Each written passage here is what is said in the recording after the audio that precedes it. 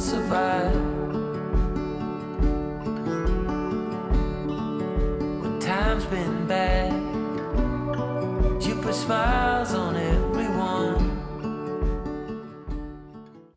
I have some magazine cutouts of flowers. I have some phrases that I cut out from magazine pages as well. And I have full-length magazine pages that I want to use to create ephemera today.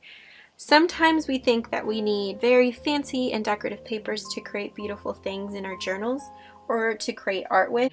And that's further from the truth. You can create beautiful art and pieces for your journal, pieces for your shop, out of magazine pages. And I want to show you how easy it is to use little fragments from pages that you can choose from any type of magazine out there. There's always images that can speak to us and can make our art look beautiful.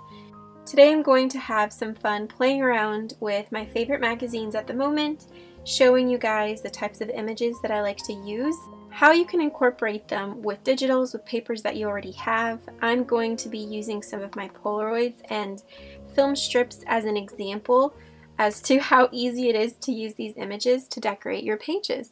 Usually magazines are just like people and they come in multiple sizes, styles, colors. I like to stick to, especially if I'm making ephemera for journals, garden magazines. And this is exactly where I got these cutouts from. It's from one of my favorite garden magazines at the moment. I love them for the script, for of course the imagery is beautiful. You can't go wrong with flowers. You can use the contents page of the magazine as well, and I'll show you how we can alter this into a pocket, and then the full page spreads that sometimes magazines offer. They're perfect for using as journal pages. Definitely have various sizes, full pages, small little snippets, and script pieces. This is an example of some tiny script pieces that I cut out from a garden magazine as well. So I like to keep my small pieces in a little pocket so I don't lose them. For garden magazines, these are two of my favorites at the moment. Country Gardens and Flowers and Gardens, very straight and to the point. Typically, most of these magazines can be found in your Barnes & Noble, and if during this time you're not comfortable with going out and purchasing them in person, you can always buy them online. And the inside is just blooming with images. This is where I got my full-length page of that beautiful pink floral. And these are the types of pages that I like to use for creating journals as full pages. This would be perfect for a little tag. So this is one of my favorite magazines at the moment. And look at this page. This looks as if fairies would live in here. It's just beautiful photography, beautiful florals, and of course you get some inspiration through the pages. So this is something that I would cut out and put as a full page in one of my journals. I mean, look at this one. This page is stunning, this full layout. I would honestly want to frame this because it's so beautiful. But these are some of the prettiest floral arrangements that I have seen and then the backgrounds. Look at this orange with the teal. This would be perfect for a fall journal.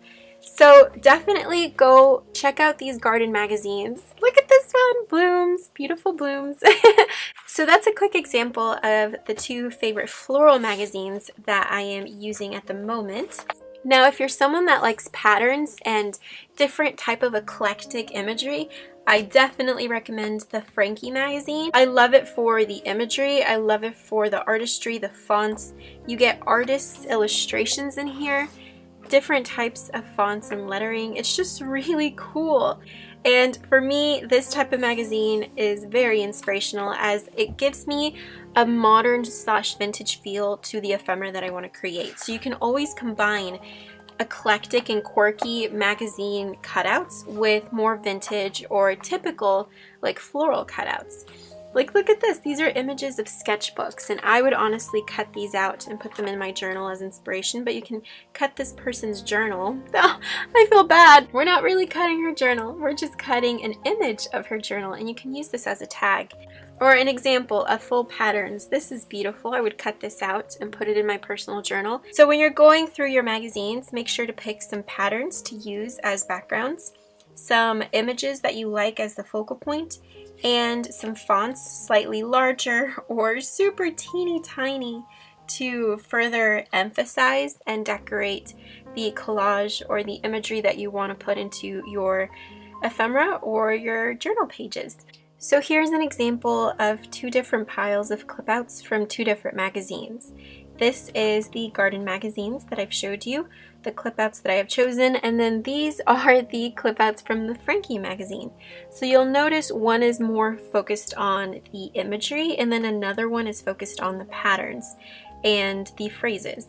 So for the Frankie magazine, I decided to use this type, which is typewriter font, which is my favorite. And I loved the pale yellow color of the paper, so this is going to be background paper for my journal pages and ephemera. Then I also found these that I absolutely loved. And then this is that purple paper that's going to be perfect for backgrounds. This is some borders from the pages, so this is an advertisement page. And I just cut around the advertisement to get some of this baby blue paper. And then same with this like chevron tile print. I loved the pattern and I think it's going to go really well with some of the flowers. And same thing, it was on the borders of the advertisement. So even the smallest little strip would do wonders in a collage, especially if you're creating it to make your own art or for your journal pages. The littlest piece of paper holds so much power when you're talking about composition because our eye is geared towards different colors, different textures and patterns, so having multiple little pieces just makes it even better.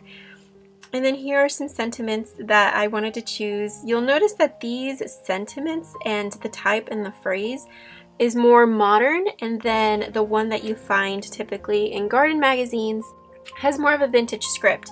So I like combining both since the type of ephemera that I want to make today is going to be a mix of vintage and modern as well as combining it with real vintage papers and images from my printables.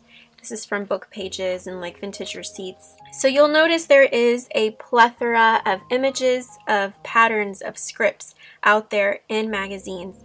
So pick out your favorites, cut apart some pieces, and combine them with papers that you already have.